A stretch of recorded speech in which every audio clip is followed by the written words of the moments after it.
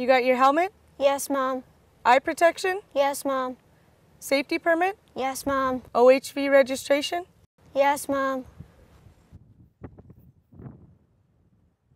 Before you ride an off-highway vehicle in New Mexico, remember, officers could be anywhere checking registration, safety gear, and safety permits.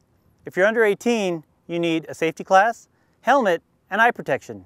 For more information, go to B4URide.com. Adult supervision? Yes, son.